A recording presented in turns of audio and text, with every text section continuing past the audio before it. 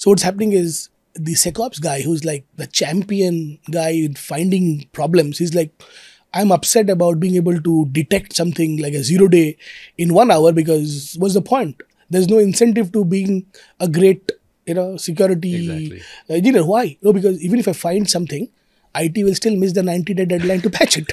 so I get zero incentive for being a great, a big great at uh, detection. Right. So why these silos? Because the programs are running in silos, the processes are running in silos. You can buy tools, but like you said, if they are not really bringing in, you know, all the good elements out of the product, the product will be there.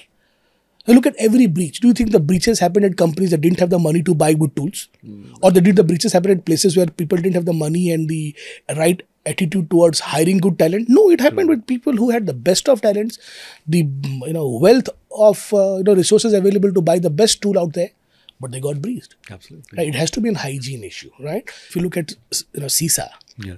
known exploitable vulnerability, CISA KEV. You having a CISA KEV vulnerability in your environment is a direct testament that you don't care about security. Absolutely. How can you have a KEV that's still alive in your network despite it's being on a list called fix this now?